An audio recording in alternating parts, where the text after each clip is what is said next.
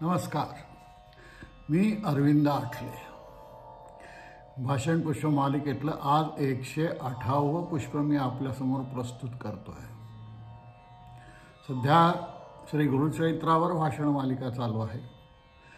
पहिले गुरुप्रचरित्रावर लोकांच्या वेगवेगळे काही आक्षेप होते काही मतां मतं होती. त्यासंबंधी घेतला दत्तावतार का यासंबंधी आपण घेतला. त्यानंतर श्रीपाद शिवल्लभांचं अमृत असं चरित्र आपण घेतलं. आणि त्यानंतर श्री आपले कथानायक नरसिंह सरस्वती यांच्या आयुष्यावर आपण गीत गुरुचरित्राच्या तो कथेप्रमाणे पुढे चाललो आहोत. तर सर्वप्रथम माझे सद्गुरू श्री नरसिंह सरस्वती यांना वंदन करतो. त्यांचा आशीर्वाद घेतो. आणि आपण आता हळूहळू पुढे जाऊया.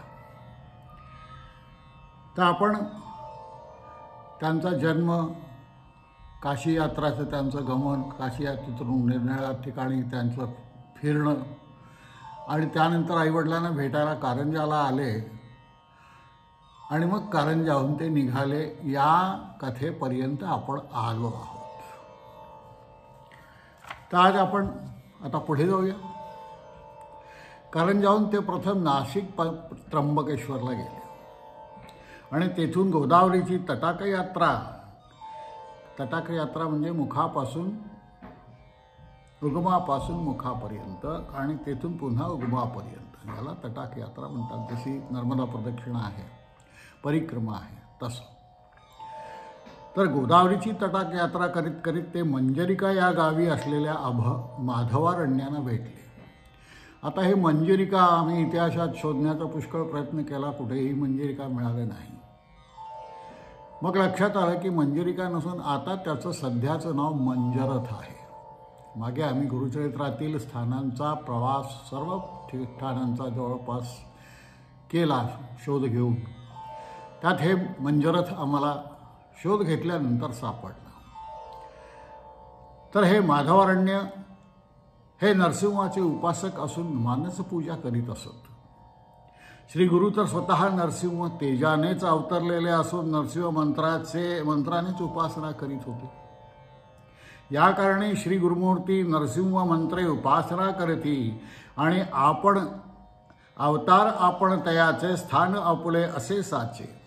शांती करावया उग्रतेचे म्हणून वास औदुंबरी तेव्हा त्या दोघांना एकमेकांची चटकन ओळख पटली. त्यात काही नवल नाही. एकमेकांनी एकमेकांची स्तुती केली आणि माधवारण्यांना श्री गुरूंच्या ठिकाणी नरसिंह सरस्वत नरसिंह मूर्तीचे दर्शन झाले. तर असं दर्शन माधवराण्य मोठे असल्याशिवाय झालं नाही. ते स्वतःही तपस्वी होते. आणि अशा प्रकारच्या अनेक अधिकारी विभूती त्यावेळी निरनिळ्या ठिकाणी निमूटपणे आपली कर्तव्य करीत बसलेल्या होत्या. असल्या जळजळ वजनानीच आपल्या त्यावेळेला भारतीय संस्कृतीचं वस्त्र धरून ठेवलं होतं. म्हणून ते साऱ्या जगाला कापवणाऱ्या झंझावाताबरोबर उडून गेलं नाही. नाहीतर राष्ट्राच्या राष्ट्रपूर्वीच्या काळामध्ये धर्मांतरित झालेली होती. कोणी ख्रिश्चन झाले कोणी मुसलमान झाले. पण आपलं राष्ट्र ना मुसलमान राष्ट्र झालं ना हिंद ख्रिस्ती झालं. या दोघांचा अंमल अनेक वर्ष आपल्यावर असूनही श्री गुरुमूर्तींसारख्या अनेक लोकांनी विविध प्रकारे काम केल्यामुळं आपण भारतीय हिंदू तसेच्या तसे अजूनही टिकून आहोत. तेव्हा त्यांचं भेट झाल्यानंतर श्री गुरुमूर्ती तिथून वासर ब्रह्मेश्वरला आले. वासर ब्रह्मेश्वरी असताना दुसऱ्या दसऱ्याच्या दिवशी नित्याप्रमाणे पहाटे गंगेवर गेले असता तेथे एका ब्राह्मणानं जीव देण्याकरता गंगेत उडी टाकली असं त्यांना गायलं श्रीगुरूंच्या सांगण्यावरून शिष्यांनी त्याला बाहेर काढून श्रीगुरूंजवळ आणलं. चौकशी केल्यावर असं समजलं की पोटशोळाने अतिशय पिडल्यामुळे हा ब्राह्मण जीवावर उदार झालेला होता. श्रीगुरूंनी त्याला सांगितलं की अरे तू चिंता करू नको.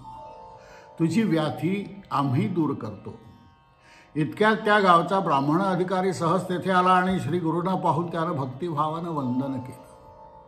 श्रीगुरूंनी त्याला सांगितलं की या ब्राह्मणाला घरी नेऊन पोटभर जीव घाल म्हणजे ह्याची व्याधी निघून जाईल. तेव्हा त्यानं आपल्या शिष्यांसह श्री गुरुनाही घरी पाचारण केलं. हा मोठा समारंभ करून त्यांची पूजा केली आणि ब्राह्मणानेही पोटभर जेवण केलं आणि जेवताच त्याची व्याधी नाहीशी झाली.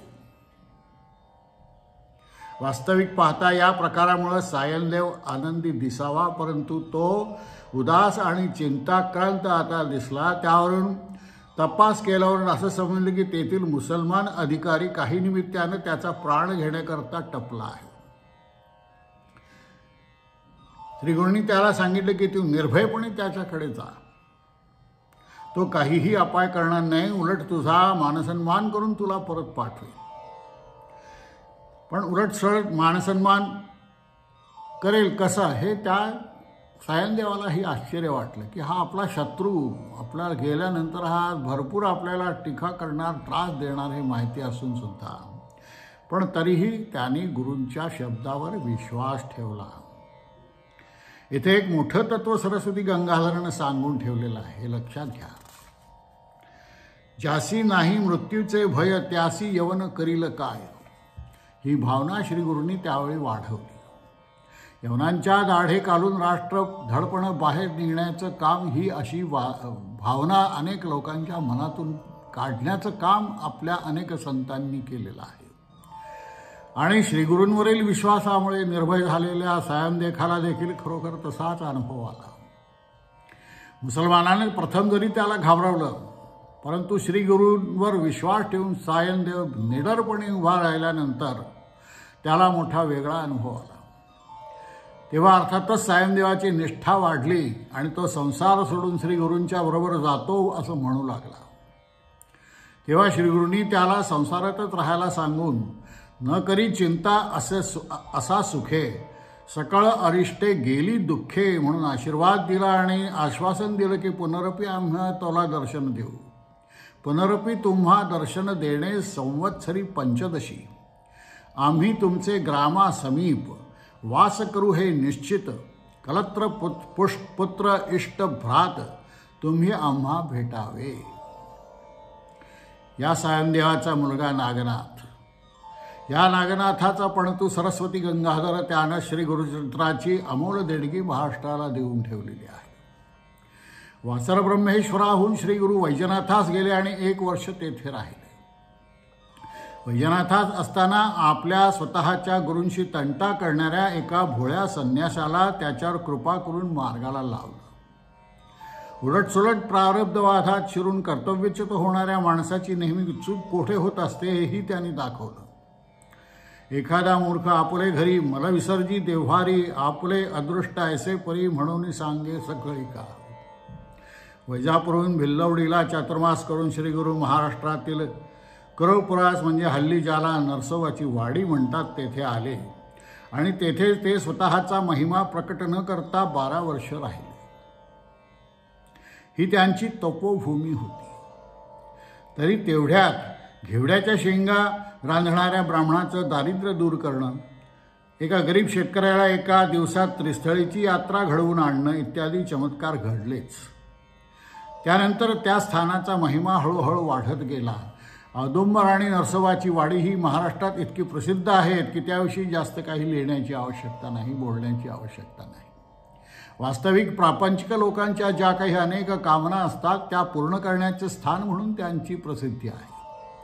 लोक नवस बोलतात. तेथून श्रीगुरु मुकाट्याने निघाले ते सरळ गाणगापुरास येऊन संगमावर गुप्त रूपाने राहिले. या ठिकाणी आपली आयुष्यातली प्रकटलीला करायची असा त्यांनी पूर्वेपासूनच संकेत केलेला होता. त्याप्रमाणे एका आकस्मित सं प्रसंगानं त्यांना प्रकट केलं. एका सदाचार संपन्न दरिद्री ब्राह्मणाच्या घरी नेहमीप्रमाणे श्री गुरु भिक्षेला गेला असता ब्राह्मण स्त्रीने त्यांना थोडं थांब थांबायला सांगितलं. तराशीच एक म्हैस बांधली होती. तिला पाहून श्री गुरु म्हणण्याचं थांबण्याचं काय कारण? ही म्हैस आहेच. इथंच थोडं दूध घाल. काळ काढ आणि मला दे. ती म्हैस जन्मापासून वांझ होती. आणि म्हातारपणामुळं जर्जरही झालेली होती. तरी पण श्रीगुरूंनी सांगितलं म्हणून विश्वास वाटून ब्राह्मण स्त्री दूध काढाव्यास बसली आणि काय आश्चर्य. दोन चरव्या दुधाने भरल्या. करोपुरास असता घेवडा रांधणाऱ्या ब्राह्मणाचं दारिद्र्य दूर केलं आणि शेतकऱ्याला द्रव्य दिलं तेव्हा त्यांना बजावलं की घडलेली गोष्ट गुप्त ठेवली पाहिजे. परंतु गाणगापूर हे त्यांचं लीलास्थळ असल्यामुळे श्रीगुरूंनी तसं काही केलं नाही. तेव्हा अर्थातच ही ब्राह्म बातमी गावभर पसरून तिथल्या राजाच्याही कानी गेली. आणि लागली श्रीगुरूंच्या दर्शनाला तो आला. तो राजाही कोणी विशेष मनुष्य असला पाहिजे. सरस्वती गंगाधरानं नृपपती म्हणून त्याची पर प्रशंसा केलेली आहे. तेविसाव्या अध्याय. त्या काळच्या मानानं पाहिलं तर गाणगापूर हे मध्यम वस्तीचं संपन्न असं गाव.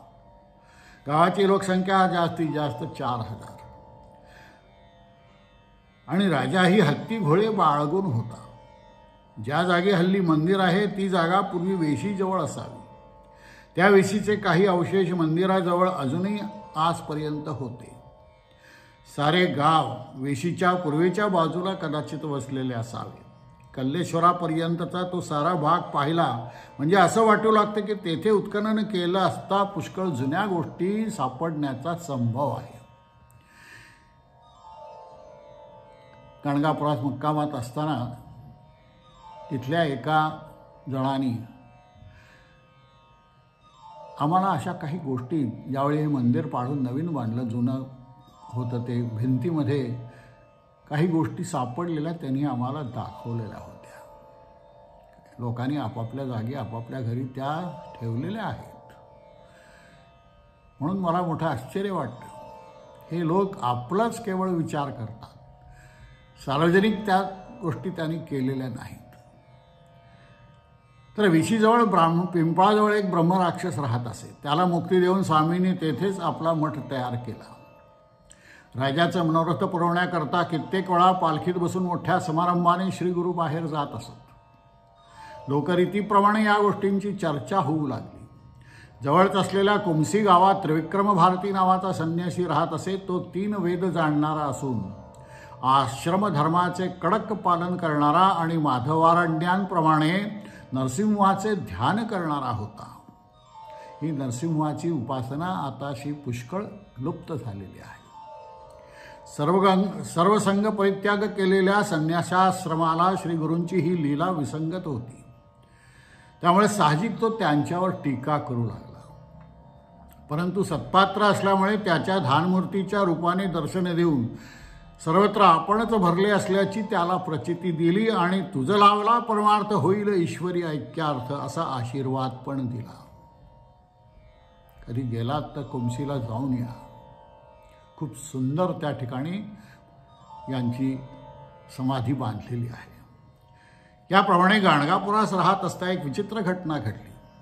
विदुरा नावाच्या एका नगरीचा यवन अधिकारी मोठा ब्रह्मद्वेषी होता.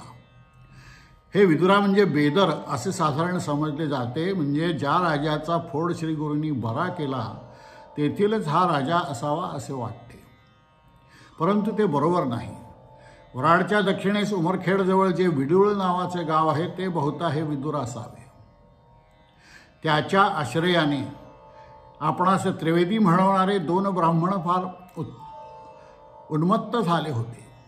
गावोगाव हिंडून तेथील सत्पात्र लोकांचा अपमान करावा त्यांच्याकडून जयपत्रे लिहून घ्यावी आणि त्या मुसलमान ज्या मुसलमान राजांच्या जीवावर ब्राह्मणाचे राजे म्हणून मिरवावे असं त्यांनी कार्य आरंभलेलं होतं.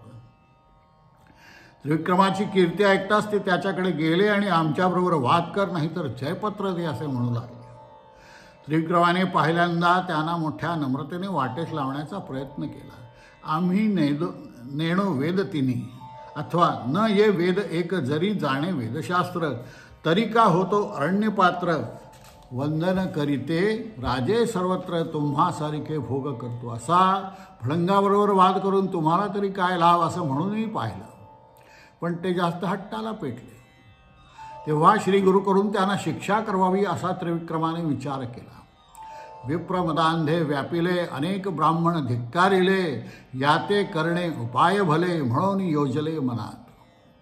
त्यांना गाणगापुरास नेल्यानंतर श्रीगुरूनं ही परोपरीने त्यांना सांगून पाहिलं. त्या प्रसंगाच्या निमित्ताने श्री गुरुचरित्राच्या सव्वीसाव्या अध्यात सरस्वती गंगाधराने चरणव्यूहाचा थोडक्यात सारांश आणला. तो स्वतः यजुर्वेदी असल्यामुळं त्या वेदाची माहिती अर्थात त्यानं सविस्तर दिली आहे. त्या ठिकाणी भरतखंडाच्या ऱ्हासाचे मुख्य कारण म्हणजे ब्राह्मणांचा ऱ्हास त्याचेही रहस्य सांगून टाकले आहे. कर्मभ्रष्ट झाले द्विज म्लेंछा सांगती वेदबीज सत्व गेले सहज मंदमती झाले जाण. त्यामुळे पूर्वी राजे याच कारणी पूजा करीती विप्रचरणी सर्व देता दक्षिणादानी ते अंगीकार न करती. त्याच्याऐवजी हीन जाती पुढे ऐका वेद म्हणती मूर्ख का? त्यांच्या पाहू नये मुखा ब्रह्मराक्षस होता ती तेणे तत् सत्व भंगले हीन याती ते सेविले. अद्यापी विक्रय करते मोले वेदभ्रष्ट करता ती अशी त्यांची स्थिती होती.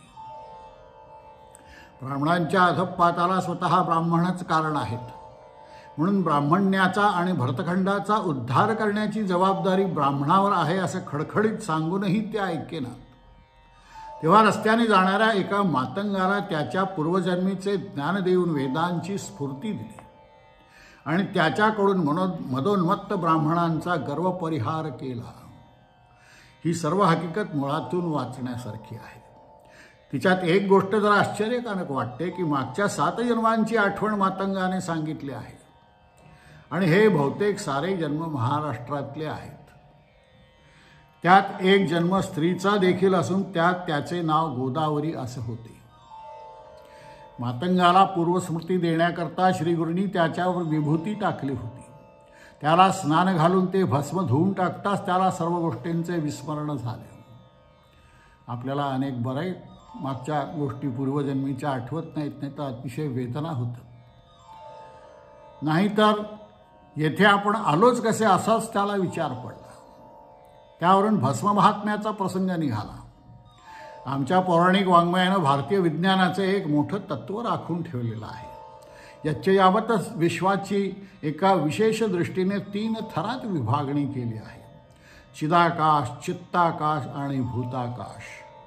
या तीन उत्तरोत्तर विरल होणाऱ्या तत्वातून सप्तलोकात्मक विश्वाच्या साऱ्या घटना घडतात. परंतु विड्याची तार ज्याप्रमाणे एका ठिकाणी छेडली तरी कमी जास्त मानाने सर्वच ठिकाणी कंप पावते. त्याप्रमाणे या तीन थरातून कोठेही जी घटना घडते तो ती या नाही या स्वरूपात.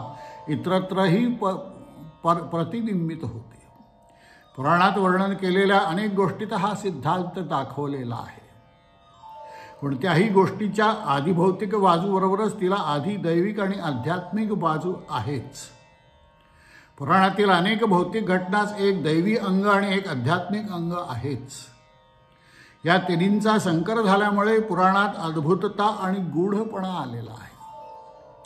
श्री गुरुचरित्रातही तसा थोडासा अद्भुतपणा आहे. भस्माचे महात्म्य आणि त्यामुळेच पुढे असलेले रुद्राक्ष आणि रुद्राध्याय यांचे महात्म्य हे अशा स्वरूपाचे रूपकात्मक प्रसंग आहेत. त्यांच्या आधिभौतिक आणि आधिदैविक बाजू सहज लक्षात येतात. परंतु आध्यात्मिक येत नाही. आणि त्यामुळे मूळ योजना अशी की भौतिकातून आधी दैवात व त्यातून आध्यात्मिकात जावे. भस्माथवा रुद्राक्ष हे केवळ जडस्वरूप असलेल्या देवतेशी मंत्रांनी जोडलेले आहेत. ते दैवी स्वरूप आहे आणि त्यातून जो अभ्यास शिकायचा ते असते आध्यात्मिक स्वरूप. ज्ञानेश्वर महाराजांचे पुढील श्लोकात निरूपण पाहिले म्हणजे हा अभ्यास ध्यानात येतो.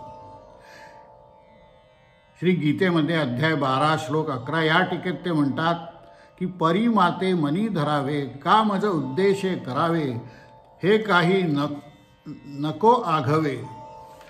जाऊ दे शून्यी खडकी जैसे वर्तले का आगी माझी पेरले हे नको आघवे होऊ दे शून्यी. वन्नीची ज्वाळा जैसी वाया जाया आकाशी क्रिया जिरो दे तैसी शून्या माझी. ही धारणा हे खरं भस्मोद्धन आहे.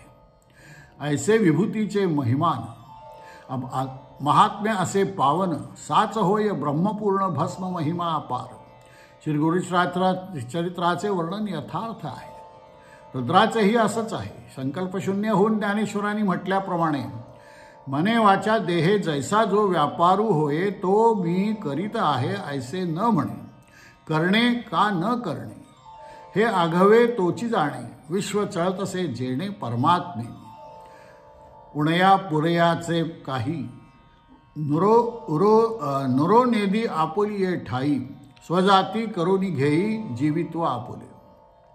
अशा धारणेने सर्व व्यवहाराकडे पाहणे हाच रुद्राक्ष आहे. हाच शंकराचा तृतीय नेत्र. आहे तर पाहणे परंतु वस्तुत कर्म जाळणे. गाणगापुरी असताना श्रीगुरूंनी ज्या अनेक लीला केल्या त्या साऱ्या अद्भुत रम्यच आहेत. श्री गुरुचरित्रात गु गुरुचरित्रामध्ये काय अद्भुत रम्य अशा नवलकथा आहेत असे म्हणून त्याची संभावना करू पाहणाऱ्यांना हे उमगणं कठीण आहे. की सरस्वती गंगाधरने काही हेतू पुढे ठेवून हा ग्रंथ लिहिलेला आहे. याविषयी पुढे थोडक्यात सांगायचं सांगणारच आहे. तूर्त एवढाच म्हणतो की सरस्वती गंगाधरने निवडलेल्या कथा अद्भुतरम्य तर आहेतच. पण केवळ तशाच नाहीत तर भावगर्भही आहेत. हे वरील विवेचनावरून लक्षात येईल आपल्याला बिटवीन दी लाईन्स या कथा वाचायच्या आहेत. नुसत्या कथा म्हणून घ्यायच्या नाही गाणगापुरी असते असता घडलेल्या कथा लीलांचा क्रा कालक्रम लावण्याचा प्रयत्न आहे हे अन्यत्रही दाखवलं आहे. असं गमक तसं काहीच नाही. ज्या सुचल्या तशा ओव्या घेतलेल्या दिसतात. माहूरच्या दत्तात्रेय नामक ब्राह्मणपुत्रास पुन्हा सजीव करून सावित्रीला सती जाऊ दिले नाही. या कथेच्या निमित्तानं स्त्री धर्माची माहिती सामान्य जनांना करून दिली. त्याचा पुढे चांगला उपयोग झाला असेल. श्री रामकृष्ण परमहंस म्हणत त्याप्रमाणे समाजातील प्रत्येक व्यक्ती काही उच्च आदर्शाच्या कसोटीत उतरत नाही. परंतु उच्च आदर्शाची दहा पाच उदाहरणे पुढे असली म्हणजे सामान्य जनता तो आदर्श जागृत ठेवण्यापुढे पुरते तरी चारित्र्य दाखवू शकते. आरोग्य व्हावे म्हणून सावित्री सासू सासऱ्यांच्या परवानगीनं गाणगापूर नवऱ्याला गाणगापूरला घेऊन गेली. परंतु तेथे पोहोचत नाहीच तोच त्यानं राम म्हटला. सोळा वर्षाचं तारुण्य दिव्य तेज लावण्य असलेल्या या अजाण बालिकेवर आकाशाची कुराडच कोसळली. ब्रह्मचारी रूपाने श्रीगुरूंनी तिला कर्तव्याचा बोध दिला. तिनं सती जायचं ठरवलं. परंतु अग्नी प्रवेशापूर्वी एकदा श्री गुरुती गुरुमूर्ती पाहावी म्हणून ती संगमावर गेली आणि तेथे त्यांना पाहून दुरूनच तिनं नमस्कार केला. त्या सरसा सुवासिनी होय असा आशीर्वाद तिला मिळाला. तेव्हा जवळच्या मंडळींनी हसून खरा प्रकार श्रीगुरूंना सांगितला. त्यावर ये स्थिर आहे व पण.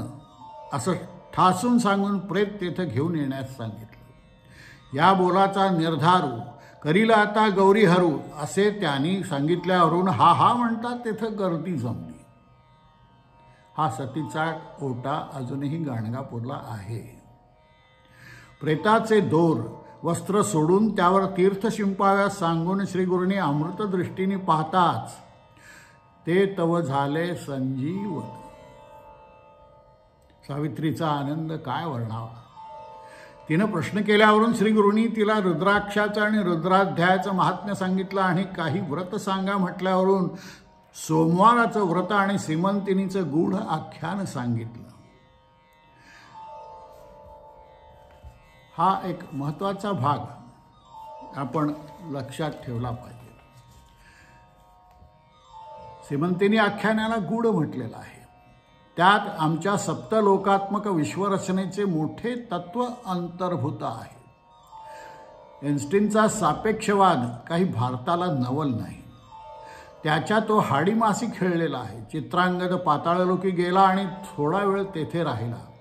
हे पाताळ म्हणजे ऐतिहासिक समजतात तसे अमेरिका नव्हे. हे तो वर आल्याबरोबर त्याला तीन वर्ष वैधव्य धारण करणारी श्रीमंतिनी दिसली त्यावरून लक्षात येईल. चित्रांगद काही स्वतः योगी नव्हता.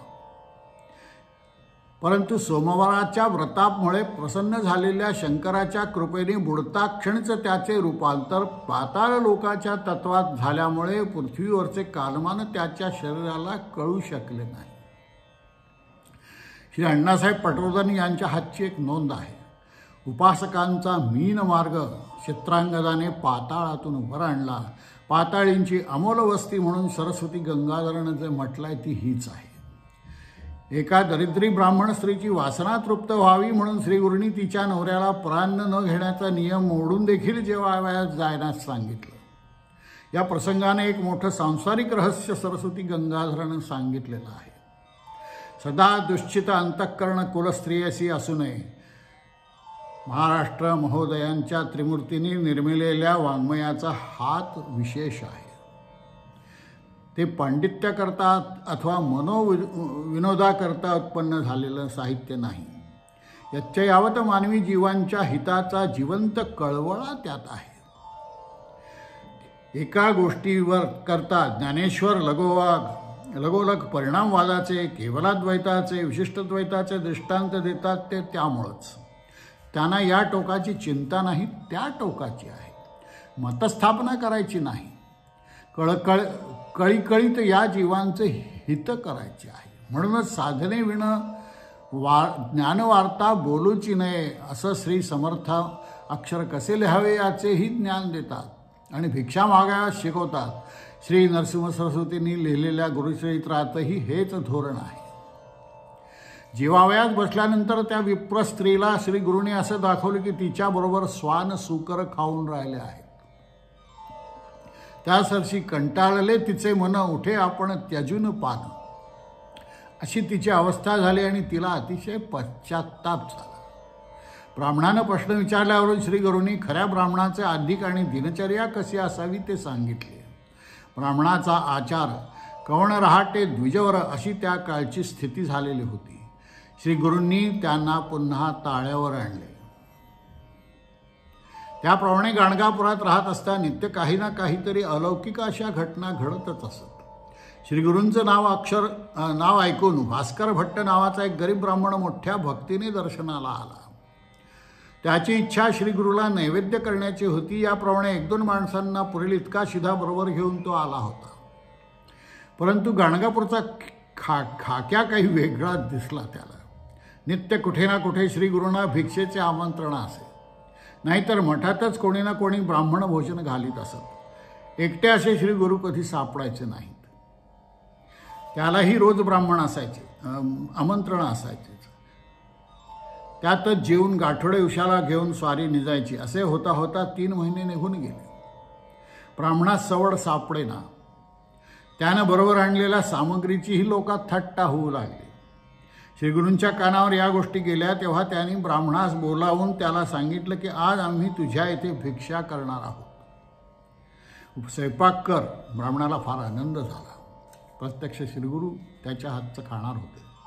परंतु श्रीगुरूंनी त्याला सांगितलं की आम्ही कधी एकटे जेवत नाही. गावाच्या ब्राह्मणांनाही निमंत्रण देशील तरच आम्ही तुझ्याकडे जेवायला येऊ. जवळच्या मंडळींची खात्री झाली की श्रीगुरू ब्राह्मणांची थट्टा करतात ब्राह्मण तर थंडाच झाला. परंतु वात्सल्यमूर्ती श्रीगुरू आपली थट्टा करतील असे त्याला वाटेल. अत्यंत श्रद्धा गाढ श्रद्धा. हा जोडून त्यानं अज्ञाप्रमाणे करतो असं म्हणून श्रीगुरूंना विनंती केली आणि श्रीगुरूंच्या पंक्तीला भोजनास या म्हणून ब्राह्मणांनाही आमंत्रण दिले. ब्राह्मणाजवळचं साहित्य तर दिसतच होते. तेव्हा ते ब्राह्मणही उपहासाने म्हणू लागले अरे आम्हा इतकू या ब्राह्मणाशी एक एक शीत न ये वाट्यासी असे असता आमंत्रण द्यास तुला लाज कशी नाही वाटत? वेड्या परंतु श्री गुरुंनी त्यांना सांगितले ब्राह्मणाच्या आमंत्रणाचा स्वीकार करा. इतकंच नाही तर असेही सांगितले की ब्राह्मण गाव भोजनच घालणार आहे. तेव्हा आंघोळी करून पत्रावळी घेऊन जेवायला या. श्रीगुरूंच्या म्हणण्याप्रमाणे त्यांना वाटले मठात आयती सामग्री आहेत तेव्हा श्रीगुरू स्वयंपाक तयार करणार असतील. परंतु त्यामुळे होकार देऊन ते स्नान उरकायला गेले. योग्य वेळी ब्राह्मणाने भक्तिपूर्वक श्रीगुरूंची पूजा करून मंगलारती केली. तेव्हा श्रीगुरूंनी तुझा केलेला स्वयंपाक आमच्याजवळ आणून ठेव असं सांगितलं आणि त्यावेळेला आपले वस्त्र आच्छादून ते न काढता भांड्यातून पदार्थ काढून वाढण्यास सांगितले. संकल्पाप्रमाणे गाव भोजन होऊन चारी सहस्र झाली मिती आणि पुन्हा पाहतो तो ब्राह्मणाने केलेला स्वयंपाक तसाच्या तसा तेव्हा ब्राह्मणा गुरूंची कृपा असेल तर काहीही होते. आजही जो काही अनेक ठिकाणी स्वयंपाक करतात त्यावर छाटी ठेवली जाते. ती या श्रीगुरूंच्या कथेला लक्षात ठेवू. तर असं आपली वेळ झाली आता. हळूहळू पटापट वेळ जातो काही समजत नाही. पुढच्या भागात पुन्हा भेटू. अप्रबुद्धांचे आभार तर किती मानावे तेवढे थोडंच आहे सगळं त्यांचं उच्छिष्ट आहे. माझं काही नाही. मी काही एवढा ज्ञानी नाही. त्यांनी जे सांगितलं ते मी तुम्हाला सांगतो आहे त्यांचा स्वतंत्र परिचय मुद्दाम मी पुढे करून देणार आहे. हे आधीच सांगितलं आहे तुम्हाला. ते या ठिकाणी आपण थांबूया. पुढच्या भागात भेटू. नमस्कार.